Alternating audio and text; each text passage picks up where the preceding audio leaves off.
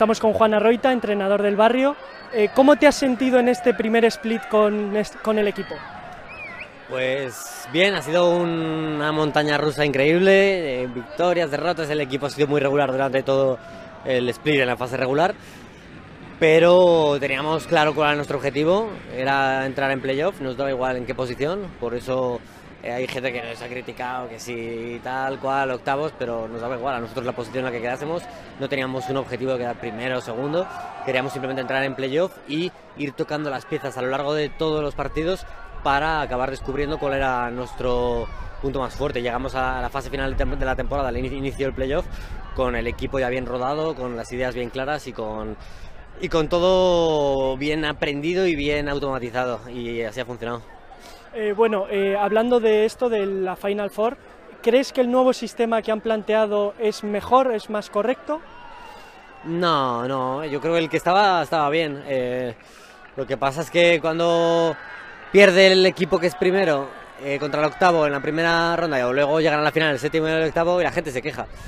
Y, y, yo entiendo esa parte de, joder, hemos sido el equipo más regular, pero esto sí, siempre ha sido así en los playoffs y ahora que vayan a ir 10 de los 12 equipos, creo que le resta un poquito de, mérito al clasificarse al playoff.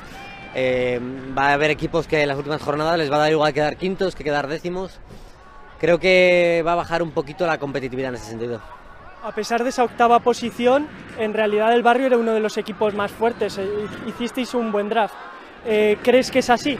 Sí, sí, sí. Yo estoy convencido que hicimos el mejor draft, que teníamos el mejor equipo lo que pasa es que éramos muy irregulares. También es cierto que somos, yo creo que el equipo que más ha rotado. Eh, todos los jugadores tenían minutos, había mucho descanso y, mirábamos por, por tener a todos frescos en la parte importante de la temporada. Y así ha sido.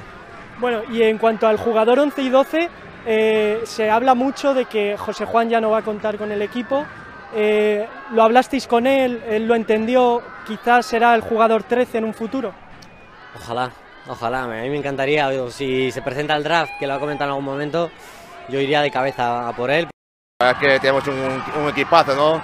Línea por línea, tenemos un gran equipo, teníamos, al final esto es un equipo, nos jugaban siete y la verdad es que al final el equipo era una piña y eso se notaba en el campo, ¿no? Bueno, parece que no vas a contar con el barrio en este segundo split.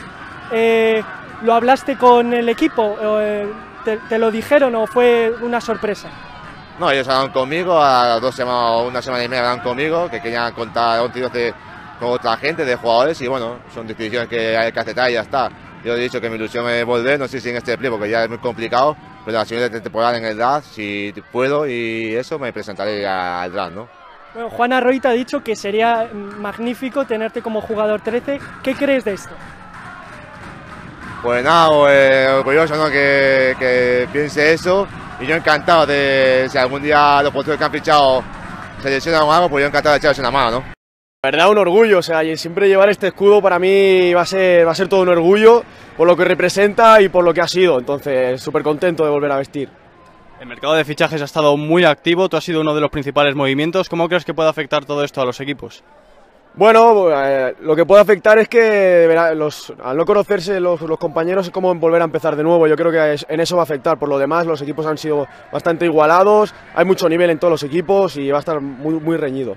Sobre el nuevo modelo de Final Four, nos decía Juan Arroita que se va a reducir un poco la competencia, quizá. ¿Cómo lo ves tú? Bueno, eso depende cómo lo enfoques. Al final a nadie le gusta perder, entonces la competencia va a estar.